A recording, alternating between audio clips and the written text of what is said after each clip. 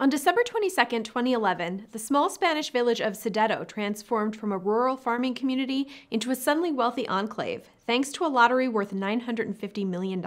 Everyone in the town shared in the riches.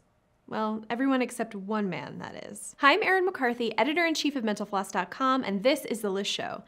This tantalizing tale of a fortune just out of reach is just one of the stories I'm going to get into today, as we look at some of the unluckiest people in history. We'll discuss the man whose backyard became a battlefield, twice, and an absurdly accident prone instrument inventor, among other unlucky tales. Today's episode is brought to you by CuriosityStream. Grab your lucky rabbit's foot and let's get started.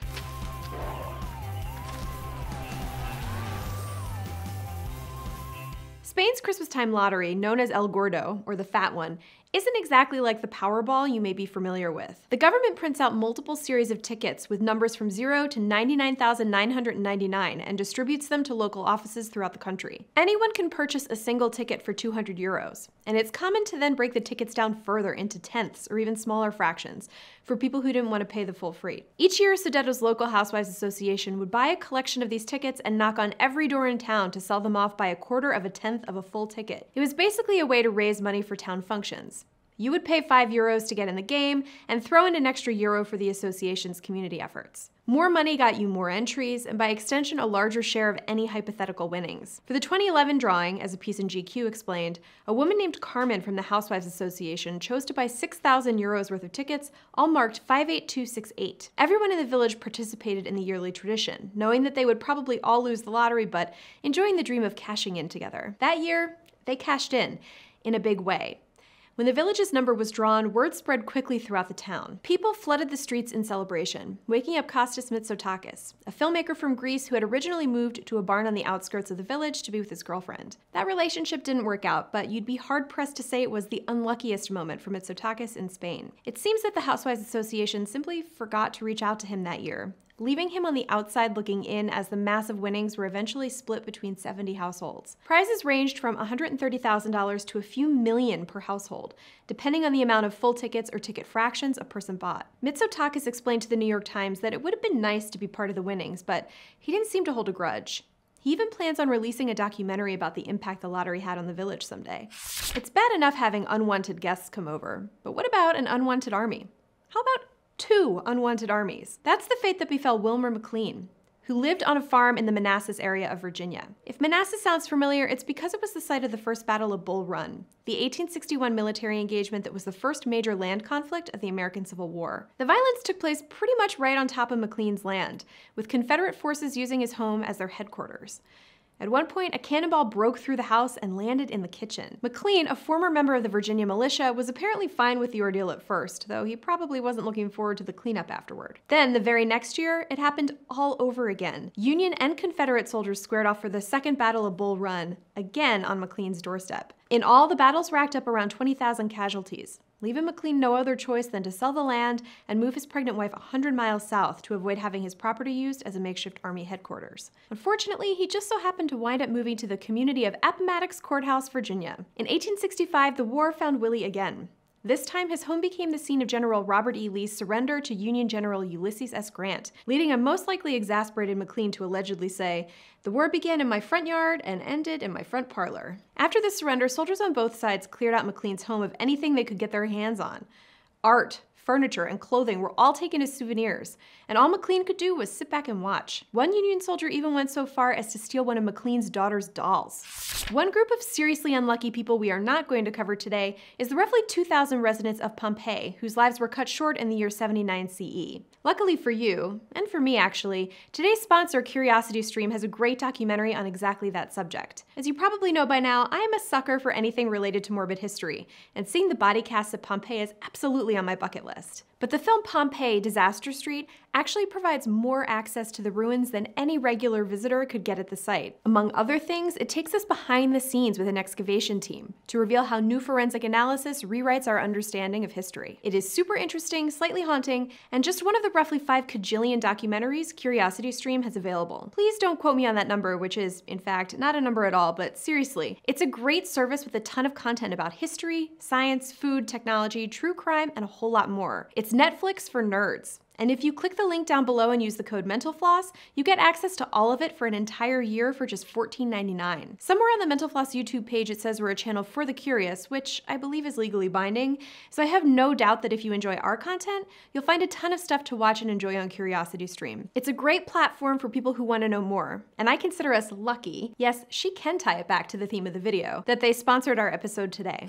Let's move now to World War I, which raged from 1914 through the end of 1918, and claimed claimed a morbid total of up to 20 million civilians and military personnel along the way. After more than four years of constant conflict, an armistice was signed on November 11, 1918, that signaled the end of hostilities. The agreement was signed around 5 a.m. and didn't officially go into effect until 11. That left six hours for the message to reach the front lines, and plenty of time for a few final shots to be fired. Enter Henry Gunther, whose time in the trenches was riddled with bad luck, even by trench standards. First, the Baltimore native was demoted from a sergeant to a private after military censors read a letter he wrote to a friend complaining about the war and urging him not to enlist. Then, upon hearing about the demotion, his fiancee allegedly decided to call off their engagement. Gunther eventually took on the role of a runner, carrying messages back and forth between units on the battlefield. To put it mildly, it's not the cushiest of gigs. In the waning days of the conflict, he was stationed in France when word of the armistice reached his squad and the German machine gun nests at a nearby hilltop.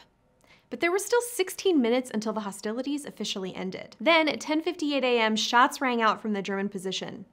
The details are a little foggy. In some accounts, the US troops were ambushed by German machine gun fire, in others, the Germans were simply firing warning shots before the end of the conflict. Whatever the reason, it led Gunther to charge one of the nests, as soldiers on both sides pleaded with him to halt, to no avail. Gunther was gunned down at 10:58 a.m., making him the last American officially killed in the war. His exact motivation will never be known. Some speculate he acted on his own, while other historians believe it was a direct order from his superiors. Gunther wasn't alone though. It's estimated that as many as 3,000 soldiers died in that six hour window waiting for the armistice to become official. And as we mentioned in our episode on misconceptions about World War I, the fighting actually continued for weeks in some areas outside of Europe. Soldiers typically only fight for one side during a war. Kind of the whole point of a war. But according to legend, Yang Kyung-jong, a Korean native, eventually found himself fighting for both sides during World War II. And the whole time, he was fighting against his will. His strange journey began in 1938, when he was forced into joining Japan's Kwantung Army, which operated mostly in Manchuria. A year later, he fought in the Battle of Khalkhin Gol, part of the undeclared border conflicts between the Soviets, Japanese, Mongolians, and Manchurians. There, he was captured by the Soviets and sent to a labor camp. During the height of World War II, he was forced by his captors into the Red Army to help the war effort against Germany. As bad luck would have it, Yang was captured again in 1943, this time by Nazis during the Battle of Kharkov. But his stint in prison wouldn't last long. Soon, the Germans slapped a uniform on him and made him one of their own. Now fighting on behalf of the Axis powers, Yang was sent to France. He fought against the Allies until, you guessed it, he was captured yet again, this time by the Americans. He was sent to another prison camp, this time in Britain, before being sent to the US. After the war, he settled down in the States and lived out his days in Illinois, where he kept hush hush about his military past. Apparently, having served the Japanese, Soviets, and Nazis isn't something foreigners like to brag about in Uncle Sam's backyard. I should point out, though, while it all makes for a fascinating story, there are many historians who doubt it ever really happened. Either way, it has emerged as a classic example of the chaos of war. Let's leave wars behind and move back into the world of lost fortunes. In January 2022, Apple's market value briefly hit $3 trillion. That's trillion with a T. The foundation of this mega conglomerate was famously laid by two men, Steve Jobs and Steve Wozniak. But there was a third Apple founder who you probably don't know about. Ronald Wayne. When Woz and Jobs decided to form a company together, they wanted Wayne to have a 10% stake in order to solve arguments and guide administrative decisions. One early decision from back before Apple was officially incorporated saw Wayne help Woz understand the importance of Apple having proprietary circuits. He also helped in more unconventional ways by designing the company's first logo. Unfortunately for Wayne, he wound up cutting ties with the future world beater before it took off. He sold his 10% share after 12 days. For that, he earned a cool $800. In a 2017 interview with Vice, Wayne sounded at peace with his decision, saying he never regretted selling his shares because he wasn't passionate about computers. He doesn't even have a cell phone, has never owned an Apple product, and doesn't believe in investing in anything dollar related. He sticks to gold and silver. Maybe it's a good thing he doesn't believe in the dollar because he would have well over 200 billion of them if he could somehow cash out on that 10% ownership in Apple today. This next story involves pain of a different kind. During the afternoon of November 30th, 1954, people across parts of Alabama, Georgia, and Mississippi reported seeing a bright red flash in the sky. According to National Geographic, people suspected everything from a fiery plane crash to the Russians could be responsible. What those onlookers actually saw was a 4.5 billion year old meteorite that was on an incalculable collision course with a 34 year old woman named Ann Hodges. The incident took place around 2 in the afternoon, when Hodges was jolted awake from a midday nap after the 8.5 pound chunk of meteorite rock crashed through her ceiling ricocheted off her radio, and made a beeline right into her left side. The odds are hard to wrap your mind around. This was a piece of space debris about as old as the Earth itself, and its journey inexplicably ended in an Alabama living room while some poor woman was just living her best life on the couch. The whole thing turned Hodges, and the gnarly black bruise on her side, into a minor celebrity. But what kind of bad luck must you have to be hit by something from space? Astronomer Michael Reynolds told National Geographic that you have a better chance of getting hit by a tornado and a bolt of lightning and a hurricane all at the same time. Since Ann was renting the house she was snoozing in, the home's owner sought ownership of the meteorite and proceeded to sue the Hodges family to get it back. The matter was settled out of court, with the home's owner getting $500 and allowing Ann and her husband to keep the rock. But there were no buyers and no profit to be made from Ann's ordeal. Instead, the meteorite had a brief stint as the Hodges' new doorstop before they eventually donated it to the Alabama Museum of Natural History. The odds of you being struck by lightning aren't quite as minuscule as getting hit by a meteorite, but it's still pretty rare. In a given year, the chances are about 1 in 500,000. The odds of getting struck twice in your lifetime? You're looking at about 1 in 9 million. By the seventh time, though, you have to wonder if the universe just has it in for you. Maybe that was going through Park Ranger Roy Sullivan's head as he entered the Guinness World Records in 1977 as the person to survive the most lightning strikes in history. The first strike went down in 1942 and cost Roy the nail in his big toe. Not bad. You probably don't need your big toenail, but it is nice to have. But Roy was in store for six more strikes that went down in 69, 70, 72, 73, 76, and 77. In that time, he suffered injuries to his shoulder, ankle, and chest. The strike in 72 even caused his hair to catch fire, and in 73 he was struck again, causing him to lose the very hair he had just regrown. Adolphe Sax's name lives on through his invention, the saxophone, but that's hardly the only musical instrument he put his name to. Using a very Batman-esque naming scheme, he also created the saxotromba, sax horn, and sax tuba. But his other claim to fame is far more absurd. Sax suffered a comical string of near-death experiences that would be right at home in a Harold Lloyd movie. It started as a young child when Sax toppled down three flights of stairs, punctuating the mishap by whacking his head on a rock, and as the story goes, ending up in a coma. There was also the time he fell into a lit stove and suffered burns across his body and the episode in which poor Sax nearly drowned in a river and was fished out by someone passing by. Sax also had numerous run-ins with poison, including the time he drank some mistaking it for milk. And then there's the time a roof tile fell on his head and knocked him out. Oh, and the time he was blown across a room by exploding gunpowder. These various calamities even led his mother to allegedly say, he's a child condemned to misfortune. He won't live. Thanks, Mom. Sax miraculously escaped all of these near calamities with just some bruises, a few burns, and a reputation for being something of a klutz. And maybe that reputation would have been all he was ever known for, if not for the fact that he just so happened to invent one of the most popular musical instruments on the planet. If Sax's slapstick shenanigans sound unbelievable, the tales of Jean Rogers will probably be even harder to wrap your head around. They start at the age of 18, when, according to her anyway, she fell off a cruise ship while trying to snap some pictures.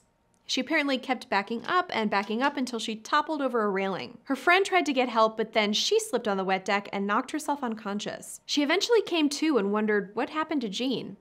No one knew what she was talking about, and Jean was left bobbing in the water on a life preserver until the ship swung around and scooped her up. A few years later, while Jean was delivering cosmetic orders in a Connecticut suburb, her young son looked up and said, Mommy, funny bird. Suddenly, she was under attack from a bat in broad daylight, which latched onto her hair and refused to let go. As she desperately went from door to door looking for help, she was greeted by shrieks from neighbors.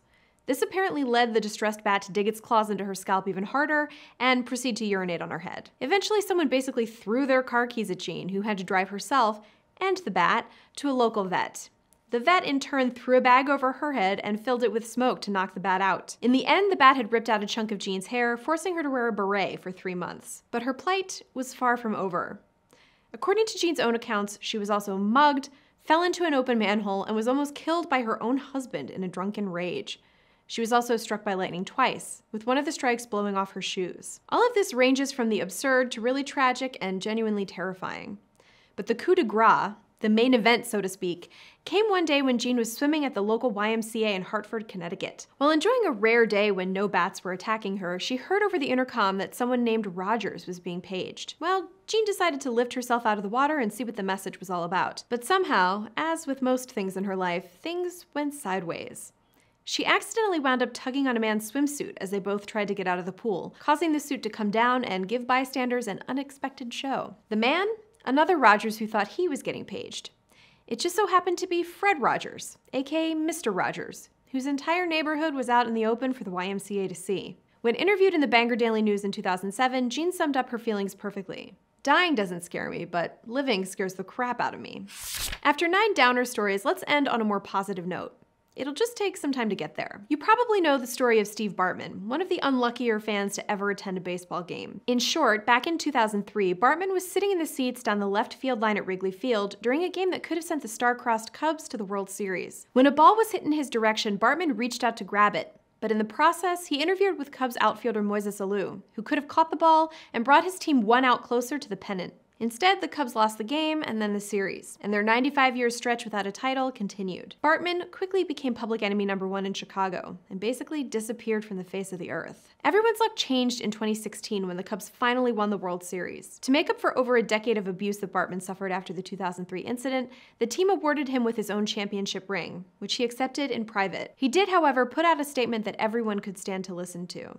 I humbly receive the ring not only as a symbol of one of the most historic achievements in sports, but as an important reminder for how we should treat each other in today's society. He continued, Moreover, I am hopeful this ring gesture will be the start of an important healing and reconciliation process for all involved. Our next episode is all about battles that changed the world. If you can think of a military engagement, especially one that's a bit lesser known, that changed the course of humanity, drop it in the comments below for a chance to be featured in that episode. We'll see you next time.